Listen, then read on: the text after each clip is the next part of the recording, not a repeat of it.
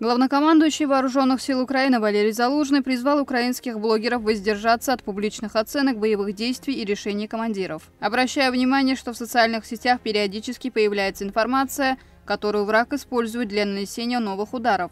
Военное руководство не предоставляет никакой важной информации о текущих операциях, заявил Залужный, добавив, что блогеры с большими аудиториями должны воздержаться от публичных оценок военных действий, логистики, обеспечения и решений командиров.